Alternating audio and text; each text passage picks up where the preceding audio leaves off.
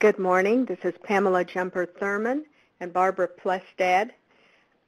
We represent the OJJDP Tribal Youth TTA Center today for the Indian Country Child Trauma Center.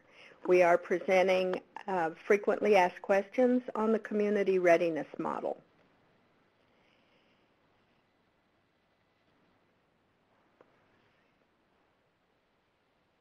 Our webinar objectives today are first to provide a brief overview of the community readiness model, and second, to provide answers to frequently asked questions related to the use of the model.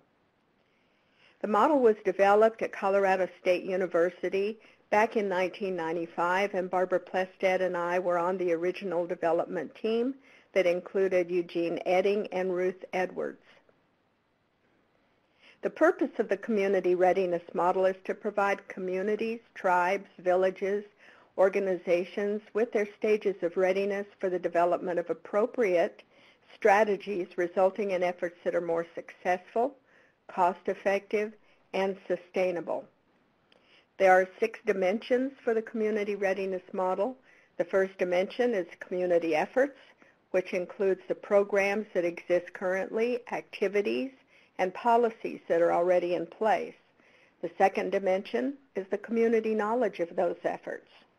The third dimension looks at leadership, and that includes appointed leaders as well as informal community members who may have a lot of influence in the community. The fourth dimension is community climate. The fifth dimension is community knowledge about the issue. And the sixth dimension are resources for prevention efforts. That includes people, time, money, and space. There are nine stages of the community readiness model, beginning with no awareness, up to denial or resistance, vague awareness, pre-planning, preparation, initiation, stabilization, confirmation, and expansion and the high level of community ownership. The process for using community readiness is really simple. First, you identify the issue, and then you define what your community might be. That can include a geographic area. It can be a subset of a population or a population. It can be a zip code. But it's up to you to define what that community is. And then you conduct key respondent interviews. You score those interviews to determine the community readiness stages, you then use those scores and conduct a workshop to develop the appropriate strategies that are consistent with the readiness levels. You then implement your action plan and conduct follow-up as the plan progresses. And we decided to do this workshop um, because of questions that have been asked over the years that um, the, the responses might not be in the manual or um, people haven't been able to find them. And just to let people know that in the next revision of our manual, we're actually just going to add um, these questions with the answers in case people uh, want to see them when, when the revision is done in a few months. So we decided to do this presentation on frequently asked questions. Um, and some of these questions actually came up during the TA individual calls with the grantees on this project. So we hope this, hope this information is useful. And so the first question is, um, how do we just abbreviate the community readiness model when we're writing it up um, or talking about it? And so um, what's happened lately, and we're not sure how this came about um, in recent months and over the last year, is that we've seen and heard people um, identifying the model as the CRA, and um, for us, we use the abbreviation CRM for Community Readiness Model. And the reason we do that is CRA, when that's just written that way, uh, we're not sure which um, phase of community readiness that's talking about because within the model there's a flow of it's the overall model and then there's the assessment phase which are those interviews that Pam talked about in that process conducting the interviews that's the assessment phase and then there's also the application phase, which is then conducting that workshop and applying those scores to an action plan. So they both start with an A, assessment application. So when it's abbreviated as CRA, it's confusing to know which part of the community readiness model the person is talking about or um, discussing in an article. So we recommend that people use CRM. We're conducting the CRM application phase or um, assessment phase or both phases. So I, I think that um, when we hear people talk about CRA, it kind of limits what the model is of, of just an assessment or just an application. It's both assessment and application. So we would recommend you use CRM, application phase, CRM, assessment phase. And then um, one of the questions that we get is, is it a best practice? And yes, it is a best practice. The uh, First Nations Behavioral Health Association, oh, about 10 years ago, actually um, deemed the community readiness model as a best practice in Indian country, along with um, IHS having it on its website, um, primarily on the suicide prevention website, um, and also, um, as many of, as you know, um, SAMHSA and other funding sources are um, requiring grantees to use the best practice in their application or once they get the grant that they actually have to implement the community readiness model within their community. So yes, it is a best practice. And then can more than one issue um, be addressed during the community readiness interview, and that would be the assessment phase. And um, for a lot of people, this comes up because of grant announcements primarily that talk about uh, in their application that they want the grantee to address, and I'll just give an example, uh, youth violence and bullying. And so in the community readiness assessment, do you ask both about, at the same time, youth bullying and violence? And our response is no because it becomes very cumbersome because it's two very distinct issues and the person you're interviewing gets confused and overwhelmed with, well, do you want me to answer that about bullying because there there's not a lot of bullying, but there's a great deal of violence going on within our youth. So we recommend um, always be issue specific. And I'll, I'll, give you an example. So um, in some of our communities, they want to use youth issues. And that covers such a broad range of, of topics. So instead of that, a community might just want to use juvenile delinquency. Um, some communities want to look at substance abuse. Well, with substance abuse comes a variety of drugs, from alcohol to heroin. So to be specific, which substance are you talking about? Alcohol, heroin, marijuana, um, whatever the issue is within your community. Um, and being issue specific because in, in many communities, just as an example, it may be that um, marijuana use is less of a concern right now than heroin or methamphetamine. So you want to be issue specific so that you know what the level of readiness is for that specific drug um, because substance abuse becomes too overwhelming. Again, the people will ask you, well, if you're talking about heroin, right now it's coming into our community, it's a huge concern. If you're talking about marijuana, right now it doesn't seem to be on the radar. So to be very issue specific with that. And then um, another question that we get is that um, can the community readiness interview questions be changed? And they certainly can be adapted for your community. There may be terms um, or phrases in there that are not appropriate um, to the community that you're working with. And, and, I'll give you one example. So if you're working on an issue, especially within juvenile delinquency, uh, related to um, law enforcement, let's say, and you want to know about the current laws, the questions in that section really relate to policy. Uh, that's the word that's used. And you may want to change that and adapt that to laws. And that's, that's fine because that's more issue specific for that topic. People will understand are there laws instead of policies related to juvenile delinquency. Or you could use both. Are there any policies or laws related to whatever that issue is? What we recommend, though, is if you do change, adapt any of the questions, um, that you pilot test those, at least with one or two people, and those can be within your organization, just to make sure that the questions flow and that they're able to answer the question that you revised. Um, within the um, uh, interview itself, uh, one of the questions we get is how do we use those scores uh, that are given during the interview question, which there's a, three questions that end with, uh, or that state on a scale of 1 to 10, how much of a priority is youth delinquency within your community, the prevention of youth delinquency within your community.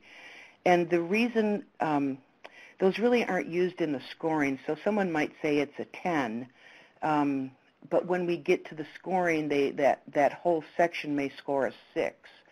The reason we ask those questions, and that very first one is the question we ask, is really just to open up the conversation and the interview where people can start thinking and okay we're talking about youth delinquency and how do I how do I see this in our community I think it's a 10 um, yes and we have them explain it now their response of a 10 may be exactly where they score on that from their other responses um, so sometimes it's it's actually the score, but we don't use just that score for that dimension. Again, it's just to open up the conversation. And then um, do we use um, the same people to interview on the post um, assessment? So on the post assessment, which we recommend is done at a year to 18 months, um, once we've done those pre-interview uh, interviews, do we need to interview the same people? I'm sorry, I skipped a question. The next question is how many people do we interview? I apologize.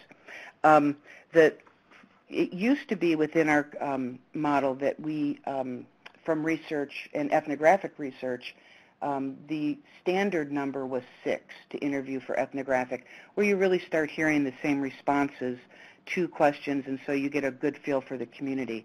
Um, in recent, actually within the last year, some new uh, research has come out that at least eight need to be done.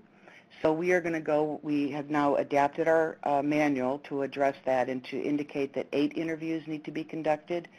Um, but what we have found over the years of 20-some years using this model is that if we randomly select six interviews from as many as 40 that we've done in communities to 60, if we randomly select multiple times, we still come up with the same levels of readiness for each dimension. However, because research now has changed that, uh, we want to uh, stick and make sure that we're following the protocol of research that we now recommend that eight interviews be conducted. And then since the interviews um, are done with people that are in the field do, of focus, so for example, if your topic is youth juvenile delinquency, and we're interviewing probation officers and people that work within correctional facilities, uh, police, um, is that kind of biasing the results because they kind of know? And, and really the answer is, is no, that we have um, interviewed people that work in the field, um, and you know many times you know their responses they they do know about kind of what's going on um, but many times with, even within the field we get responses from those individuals of well you know I really don't know I'm I'm not sure of other services that are available or I don't know the actual stats um, I probably need to look that up. So the results really don't bias or give you a higher level of readiness because part of part of the whole process is to interview people across multiple uh, components of the community. So you would also be interviewing community members at large and, and people outside of that. But it does not bias the results at all. It hasn't in, the, in, uh, in any of the work that we've done. And then do we um, have to ask all the questions that are on the interview question, on the interview? And we recommend that you do. We always do. Um, and this question comes up when you get an individual that you're interviewing who really does respond, you know, I don't know, we don't have any of those services, because the next question may be, you know, what are the strengths of those services, what are the weaknesses, um, that they really don't um, um, it seems like we shouldn't be asking them because it's not uh, appropriate because they've told us that either they don't know or they don't have any. However, um, I do um, want to say that what that does and why we continue to ask those questions because they can say it's not applicable or doesn't, uh, I have no response, is that sometimes it, it reminds people, um, jogs their memory of, you know, we do have this one program. And so they're really answering the question kind of following the original question of what efforts do you have when you talk about strengths or weaknesses of, of those efforts. So we do ask all the questions because sometimes it jogs people's memories. And then um, can't we use just one scorer? And so when those interviews are completed, uh, what we have found um, is that you really do need to have two people score each of the interviews. And, and the primary reason is because if one person may miss something uh, within an interview that was important in the scoring of it, um, and, and it just gives two eyes on that whole interview process. We recommend that um, people that did not do the interviews themselves actually score the interviews because the person that's done the interviews has really heard all of the responses and, and sometimes it's hard to remove oneself from, from kind of the overall essence of all the interviews. However, we do understand in small communities that may not be even possible because it's a small staff, um, and so there may only be two people, and so the, the in person that conducted the interviews is also the scorer. So to, just to remember when you're scoring that, you're, you're scoring each individual interview on its own, not all the interviews as one interview. And then, um, what, as, as Pam said in that flow chart, one of the things that um, we always want to make sure is, you know, how many people should we invite to the workshop where we present those scores um, that have been um, uh, scored based on those interviews? How many people do we invite to the workshop? Um, for us, you know, we have done a community readiness workshop with four people, and then we've also done it with over 100 people. For us, the ideal kind of number is 15, 25 people um, at that um, workshop because you get a really good cross-section then of the community so that you have input from all different dimensions uh, that are working either with youth if the issue is youth suicide or youth delinquency. Um, and you, have got really good um, kind of feedback and strategies that address all of the issues. So, um, and, and the way that we um, actually uh, invite those people to the workshop is that everyone that we interview, at the end of the interview, we ask them if they would be willing to be contacted uh, once all the interviews are completed, uh, to be contacted to see if they would like to attend a workshop that will address um, the results, talk about the results, and then develop an action plan for the community or the tribe. So those are all, those individuals mostly always say yes, and so they are contacted. And then the person who's running the project invites other people within the community to attend that workshop. And then should we do the, um, when should we do the post uh, interviews? And I kind of talked about that briefly um, earlier, but we recommend 12 months to 18 months to do a post um, uh, assessment again. And um, the reason we go at least a year out is just so that you can see some change. However, we do know, and we've had some uh, grantees and some programs that because of grant constraints or the ending of a grant, they may need to um, conduct those workshops, or I'm sorry, they may need to conduct those assessments earlier. So we've had groups do it at six months, eight months, 10 months, but you may not see the change in readiness that you would want to see uh, through that process.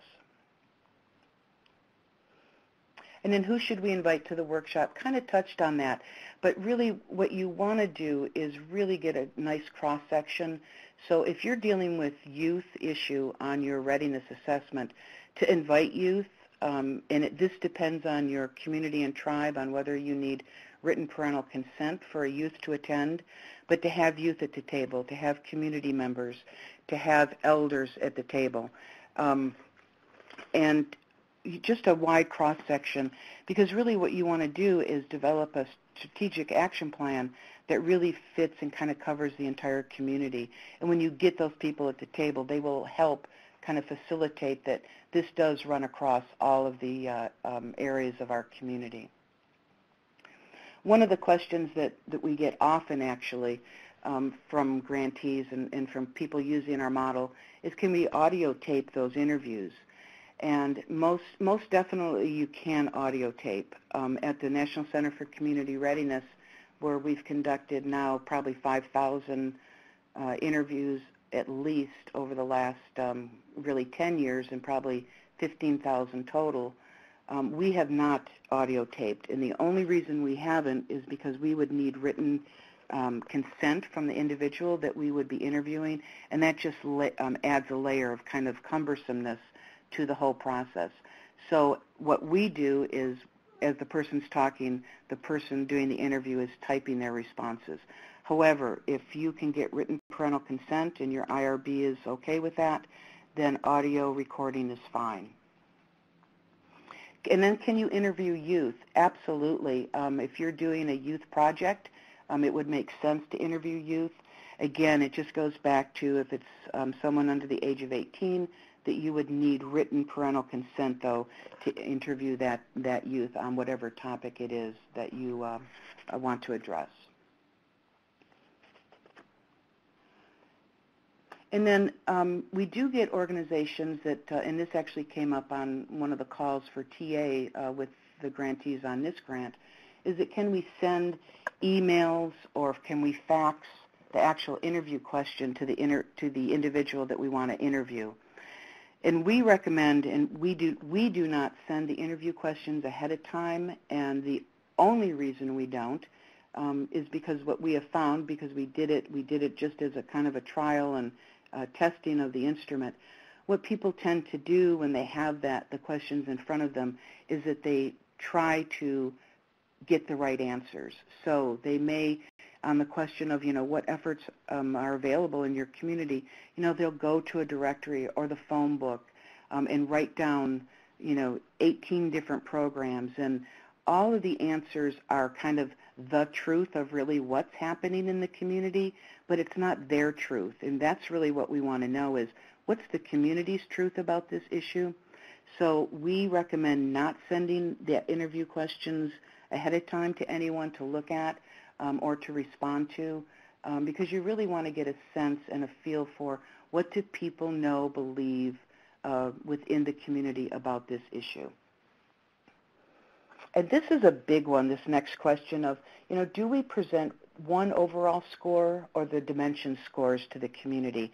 And in again, in recent, in about the last year, um, we've had communities that are that have used the model and um, are just using the overall average score. So what they're doing is taking all six dimension scores because you have a score for um, what has Pam had talked about, community efforts, so what's currently available, knowledge of efforts, leadership, climate, um, knowledge um, of the uh, issue, and then resources. So they're taking those six dimension scores and adding them and dividing by six and coming up, coming up with an average score. And that's what they're presenting uh, to their community, and that's what they're working with in establishing their strategies. However, that is not what should happen. What you want to present to the community are the dimension scores. And, and I'll give you a reason why, the, the main reason why. You may have, uh, for community efforts, which is dimension A, you may have a 7 because what the individuals talked about is there's programs running. They've been running for over, you know, four years, um, well established. So they're stabilized. They're stabilization. But you may have leadership um, that may be at vague awareness about the issue. So they scored a 3. So if you add up all those dimensions and you may come up with an average score of 5.2, let's say of all those six dimensions, if you use that score to set strategies, you're going to be setting strategies that are appropriate for stage five, and there's examples in the manual of what those strategies should look like. So for uh, leadership that scored in the threes, you're using strategies from five. And so you're way ahead of the game for leaders. You're doing things that won't work with them yet. So um, just, we recommend do not add and use those average scores because it's not useful in the setting up of the strategies.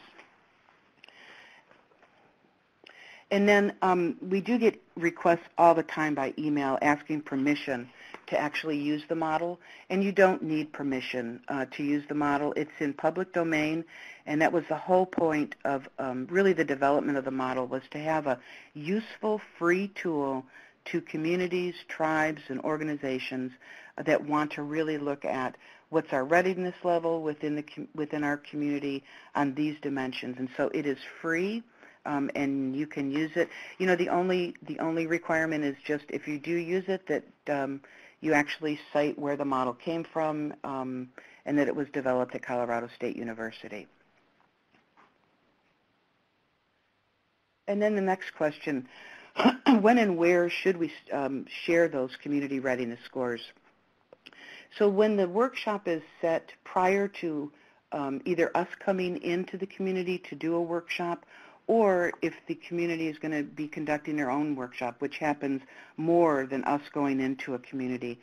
We recommend that those scores really not be shared either in writing or verbally um, outside of the group that's conducted those interviews because there's no groundwork for what the community readiness model is and what those questions we're getting at.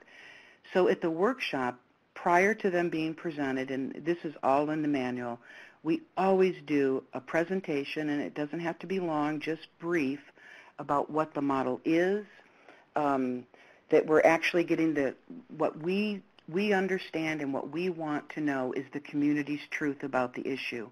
And it may not be the truth. It may not really be what's happening, but if our community believes this and, and is saying this consistently, that's where we need to set our strategies at. So, and I'll give you an example. So when we uh, look at uh, efforts in the community, we may only hear from all eight people two programs that are available to youth related to youth delinquency prevention. So, um, and that they've only been running for two years. So when we go into the community to present those scores, they may be at a six based on the truth of the people that we were interviewing and the community. But when we go to the workshop, there's actually people from 10 different organizations providing prevention activities.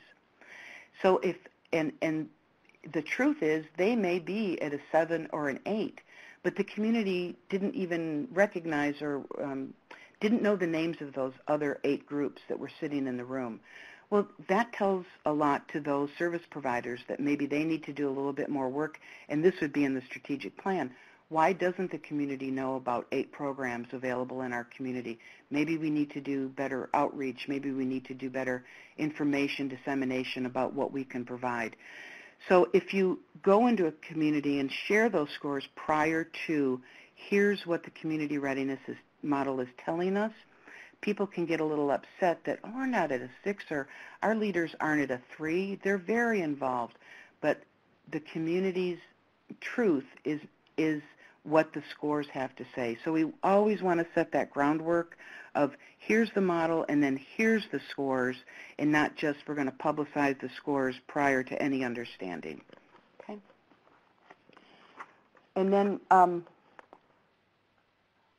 in the manual, um, if any of you have, have, looked at that, there are strategies listed under each stage of readiness. And um, what those are just examples. And so people want to know, can, can, we only use those that are listed? Well, absolutely not, because really, you know, the lists are endless and, and very specific to each community. So when you look at the strategies under, you know, um, uh, under um, stage three, for example, it's just kind of a guideline of intensity and what we should be doing. You can add to that list. So if you score a three, you know that it's probably not the time to have some large community event related to the issue, um, calling it, you know, uh, reducing juvenile delinquency, because really the community, that stage of readiness is at a three, vague awareness. No one's probably going to be, very few people are going to be coming to that uh, workshop presentation community event, um, besides possibly the leader of the uh, um, the group that's actually putting on the event and maybe people that work for that uh, organization. So to really think about, you know, if we're at a three, these are the types of things we do, we can do, but but in our community, what would that look like? So to always tailor those to the community. And then what other options do we have uh, for a workshop? So what we have found sometimes in a community when the scores are really kind of within that one, two, and three, so at no awareness, denial, and vague awareness, um, really what that's telling you is it may not even be, if, if all of the dimension scores score within those, uh, uh, within those areas, it's difficult to even get people to come to a workshop to develop a strategic action plan. And so what we have done in those situations is we've worked with the person that has um, asked us to come into the community to do the assessment, um, and we work with uh, that lead person and possibly a few of their staff people to really talk about what can they do at those lower levels just themselves to get the community at a little bit higher level of readiness so that a community workshop can actually take place. Um, because we've had communities do those workshops, and again, who shows up is the lead person and really just staff. So there's options to the workshop uh, within a community that scores kind of at those lower levels of readiness. And then how long is a workshop? Um, you know, we have done two-day workshops, we've done day workshops, and we've done half-day workshops. So really, this really has to do with what's appropriate for your community, um, how how long can you get people to actually come to a workshop? And people running programs really do have a good sense of i think we can do a day long workshop. I think we're good with that. Or we can do a two day so um, that's really the, the best um, option for you is to really look at the community and what, what's really going to work uh, for us. Um, but if we did do a day-long workshop, what, what we do is kind of the morning part, we do an overview of the model to set the tone. We actually have participants interview one another um, just as an exercise to see how that process works. And then we score an interview with them so that they understand how we scored an interview. And then in the afternoon, we um, discuss the scores. We go over strengths and resources and concerns they have related to the issue.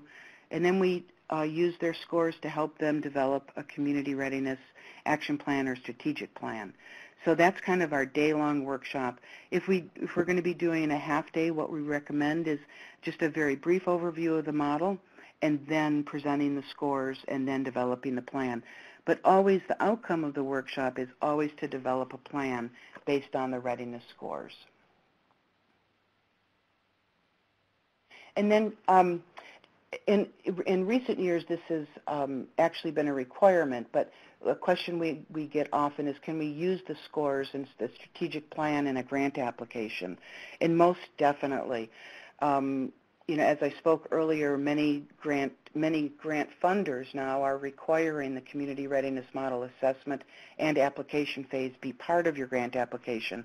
However, even if it's not discussed in the grant application, we've had many communities use their scores and strategic action plan as part of their grant um, and have been funded by using that. And really what it does is it tells the funder, these, this is where we're at as a community and based on that, these are the strategies that we're selecting from the grant application that you said we have to do. That's why we're selecting these, because it fits within our stage of readiness. So um, we believe it's a really good idea if you have if you've used the model and have a strategic plan to actually use that in grant applications that you're going for. And then um, a question that we get often is, you know, since we're going to be talking to people on the phone. Can we add any questions to the interview um, part of the community readiness model? And absolutely, we have many grantees that, you know, the questions that, that are that have to be asked to get scores are there, but can we add maybe some questions at the end that we really want to see how the community feels about or, or wants within the community? we recommend that you know you don't add any more than maybe five questions, but that's really up to the community uh, to whatever you know whatever information is needed.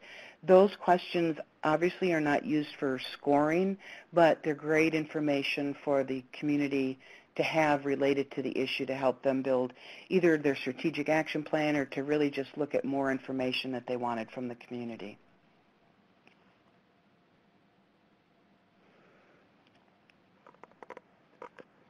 If you need additional information on the community readiness model, it's possible to view the two webinars that were previously recorded for the TTA Center.